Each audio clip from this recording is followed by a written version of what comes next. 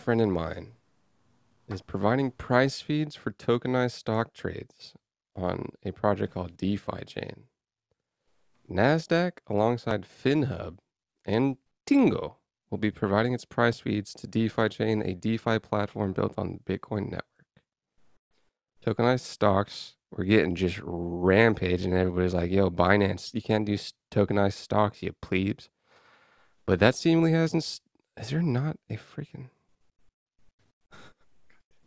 Stop legacy financial giants and decentralized finance DeFi advocates from inking new deals. Bloomberg reported that NASDAQ, Finnhub, and Tiingo will be providing price feeds to DeFi chain.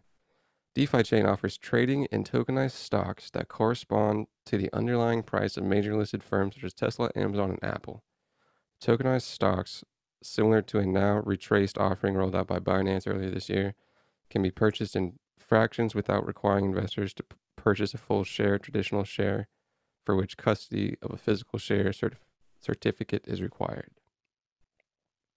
collateralized by crypto, removing the need for an intermediary, can also be purchased in the form of decentralized loans. wow, that sounds safe. Um, yeah, there's a DeFi got risk, baby. uh, available. Well, because I mean, freaking Nasdaq, dude. I guess it's just price feed. So maybe DeFi chain wants to be like, yo, we got, we got freaking Nasdaq, everybody, we're chilling. But Nasdaq, like, yo, we're just, give, we're just giving you prices, buddy.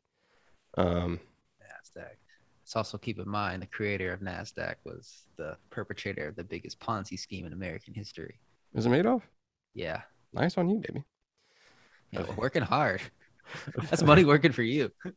I mean, he tried, man. He just he tried to get leverage. You know what I'm saying? That's crazy. That's I mean, it's not that crazy because like the majority of it was during a time where like computers weren't super like used. Yeah. But like that's What- fucking what- crazy. What years was it going down? Oh, okay. I want to say I want to say he started his firm in like the 70s and then he Yeah. got taken down in 2008. Was Could he be wrong there, but that's why. doing stuff for 70 to to the naughties?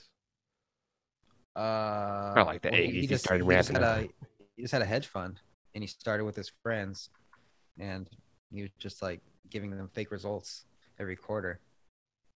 And, He probably started off that way, dude. Yeah, I don't know. I don't know. Like, how do you fucking? And he was just like a trusted guy. Like nobody like they audited him, but they didn't gave audit him hard enough Yeah, yeah. because they're like, it's fucking Madoff, bro. He made the Nasdaq. Money on the back end too. There's no way they were just like, oh, my guy Bernie. He's like, okay, obviously, obviously you're doing bullshit, my guy. But you know, give me some money, and we got you. Like, yo, like even during economic downfall, I'm still getting 10% back a year with my boy Burn really good system, dude. Good system. Dude, you know what can I say? Throw your money at my guy over here. He'll set you right. It's just like our team is awesome. You know, they're just really like they're good at risk management. Me and me and the team, I call them my little my little Bernies. They're really burn the market. You know what I'm saying? Until you need to pull your money out. But I mean, uh, it's not that far fetched, dude. For especially like 70s, like cats were doing stocks like 20s and 30s and 40s, and I was reading a book about hog prices and like railroad stocks in like the 1880s and stuff. This guy was calling out projections and stuff. It's crazy. But I, I'd assume people can just get yanked off in the 70s. Available to trade 24 7, purchase of a tokenized stock does not confer ownership of the underlying asset to the holder, but rather allows them to potentially profit from the asset's mo- price movement. That's what a lot of young people only care about is the price movement. Kinda. that money, maybe. I guess you you could say the ownership of the stock is really the only thing that's like valuable, but and like what's it backed by?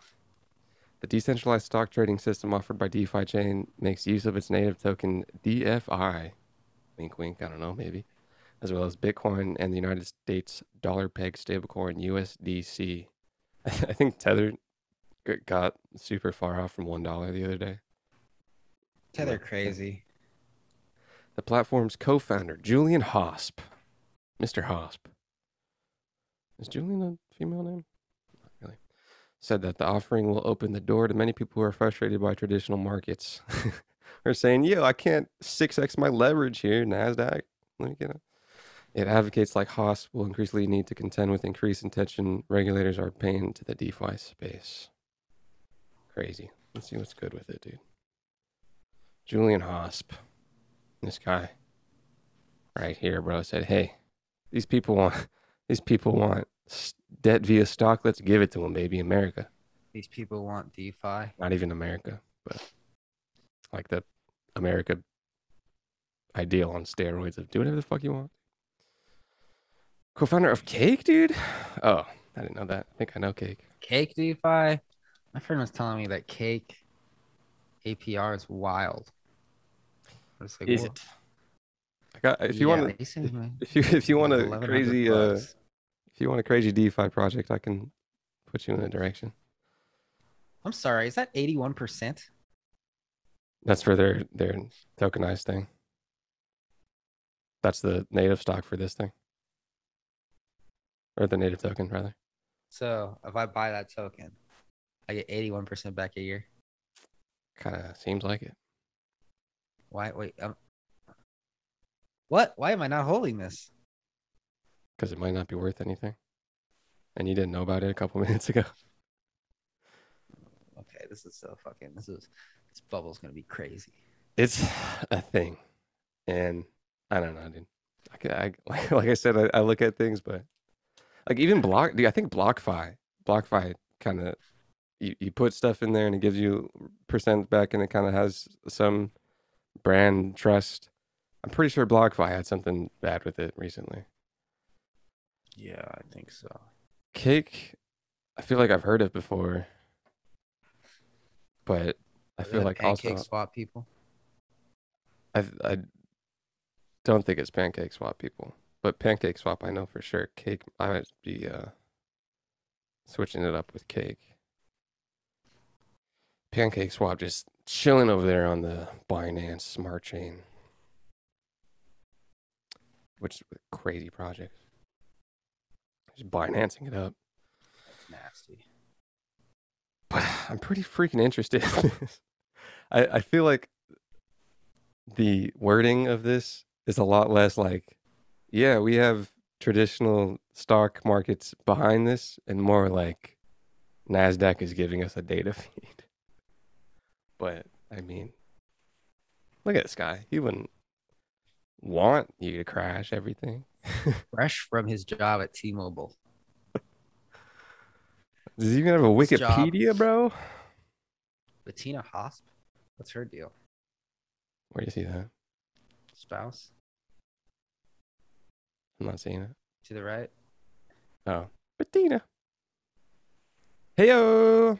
Hey, this chick is into money, bro. Bettina, you know she has a course on personal finance. This chick loves his personal finance. Yeah, she has. A she's the VP of operations on Cake, dude. You think they got married before or after? I don't know, but damn. Out of Singapore, okay. Singapore is crazy over there with uh, cryptocurrency. She so he probably had a virtual assistant, and then he married her and moved moved her out to the states. She doesn't look super Singaporean. Singapore's beautiful. I want to go. Singapore okay. is a lot of people's tax safe havens. I really gotta take a shit. So, All right, dude. Let's wrap it up. Let's wrap it up. Come on, everybody. Thanks for listening. Thanks for listening, everybody.